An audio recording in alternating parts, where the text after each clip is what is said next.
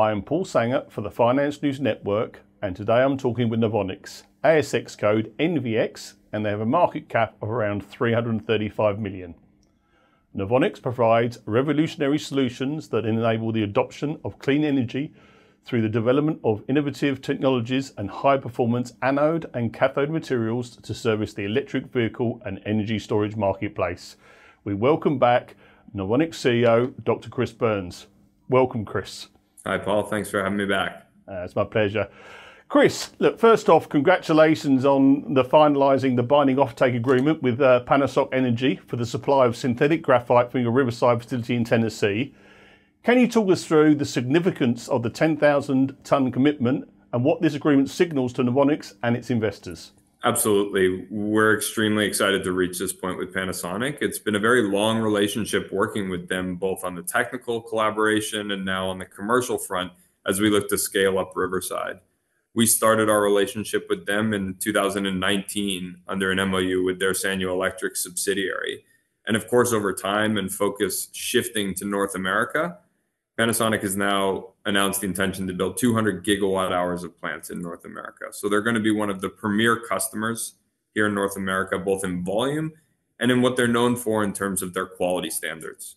So to be reaching the agreement of a binding offtake with them for a significant volume, 10,000 tons of capacity over four years, is a huge milestone for us and continues to underpin our path forward, the proof of our products and our production technology. And Chris, you, you know, you now have two uh, anchor uh, customers at Riverside. Uh, the ASX release states that Novonix will use its best endeavours to deliver additional volumes requested by Panasonic.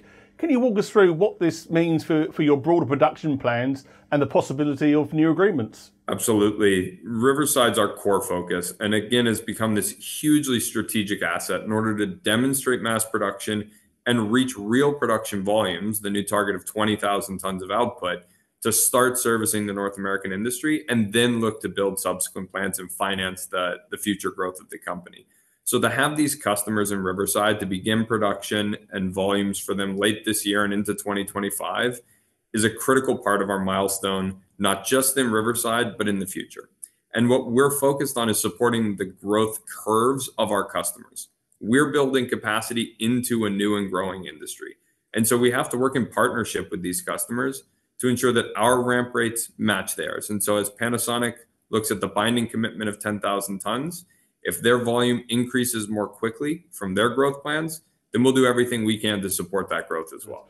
And uh, let's talk about uh, you know the outlook for this year. What items can we look uh, forward to in 2024 for Novonix to accomplish? I talked about our big strategic initiatives for 2024 and our quarterly activities report update. You know, maintaining leadership across the R&D sector, continuing to progress our operations at Riverside, uh, progressing our customer agreements. Of course, Panasonic now being a huge milestone, and then financing uh, for that growth. And so, I think as we look at the upcoming milestones for us, of course, we're updating our engineering package for Riverside, targeting the end of the first quarter to define the product mix and our finalized output of that facility. And then our work with the government and the Department of Energy to start deploying the grant funding towards our Riverside facility.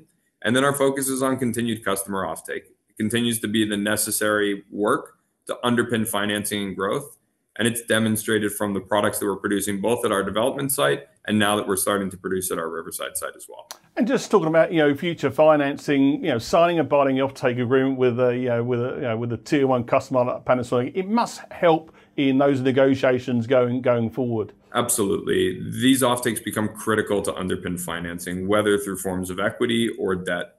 And so when we look, of course, first at government funding opportunities, such as the grant that we've been awarded of 100 million toward Riverside, we've applied for potential tax credits through the 48C program, and we have our application with the loan program office.